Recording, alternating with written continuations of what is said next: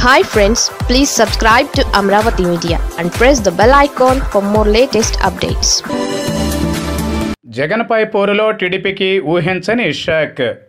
ఏపీలో టీడీపీతో పాటు బీజేపీలోని చంద్రబాబు అనుకూల వ్యక్తులు ఏపీ అప్పుల గురించి చేస్తున్న ప్రచారంపై కేంద్ర ప్రభుత్వం నీళ్ళు చల్లింది. ఏపీ మరో శ్రీలంక అవుతోందని రోజు రోధిస్తున్న ప్రతిపక్షాలకు షాక్ ఇచ్చింది.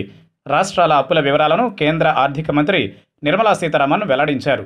అప్పుల్లో ఏపీ ఎనిమిదవ స్థానంలో ఉంది. ఏపీ కంటే ముందు ఏడు రాష్ట్రాలు ఉన్నాయి తమిళనాడు ఏకంగా ఆరు పాయింట్ ఐదు తొమ్మిది లక్షల కోట్ల అప్పుతో తొలి స్థానాన్ని ఆక్రమించింది. ఆ తర్వాత ఉత్తరప్రదేశ్ ఆరు పాయింట్ ఐదు మూడు లక్షల కోట్లతో రెండవ స్థానంలో ఆరు పాయింట్ సున్నా ఎనిమిది లక్షల కోట్లతో మహారాష్ట్ర మూడవ స్థానంలో ఉంది. బెంగాల్ అప్పు ఐదు పాయింట్ ఆరు రెండు లక్షల కోట్లు. నాలుగు లక్షల కోట్ల అప్పు దాటిన రాష్ట్రాలుగా రాజస్థాన్ కర్ణాటక గుజరాత్ వరుసగా ఐదు ఆరు ఏడు స్థానాల్లో ఉన్నాయి. ఎనిమిదవ స్థానంలో ఏపీ ఉంది. ఏపీ అప్పు మూడు పాయింట్ తొమ్మిది ఎనిమిది లక్షల కోట్లుగా కేంద్రం వెల్లడించింది. తెలంగాణ మూడు పాయింట్ ఒకటి రెండు లక్షల కోట్లతో అప్పుతో పదకొండవ స్థానంలో ఉంది.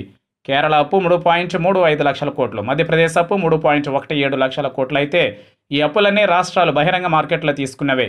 కార్పొరేషన్ ద్వారా తీసుకున్న అప్పులను కూడా రాష్ట్ర ప్రభుత్వ అప్పులుగానే పరిగణిస్తున్నామని కేంద్ర మంత్రి నిర్మలా సీతారామన్ చెప్పారు. అయితే కార్పొరేషన్ల ద్వారా తీసుకున్న రుణాలు ఎన్ని అనే దానిపై కేంద్రం వివరాలను వెల్లడించలేదు. నిర్మలా సీతారామన్ సమాధానంపై వైసీపీ మీడియా హర్షం వ్యక్తం చేసింది దుష్ట చతుష్టయం ఇంతకాలం చెబుతున్నవి దొంగ లెక్కలేనని తేలిపోయిందని వైసీపీ పత్రిక అభిప్రాయపడింది. అయితే ప్రతిపక్ష పత్రికలు మాత్రం కేంద్రం తీరును విమర్శిస్తూ కథనాలు రాశాయి.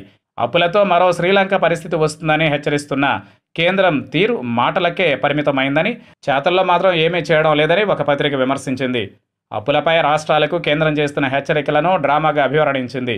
కార్పొరేషన్ల ద్వారా చేసిన అప్పుల వివరాలను తెలుసుకునే అవకాశం కేంద్రానికి ఉన్నా సరే ఆ వివరాలను చెప్పకుండా కేవలం బహిరంగ మార్కెట్లో రాష్ట్రాలు చేసిన అప్పుల గురించి మాత్రమే కేంద్ర మంత్రి వివరించడం ఏంటని ప్రతిపక్ష పత్రికలు ప్రశ్నిస్తున్నాయి. మొత్తం మీద అప్పులపై కేంద్రం చేసిన ప్రకటన ఏపీలో ప్రతిపక్షాలను బాగానే నిరాశపరిచినట్లుగా ఉంది.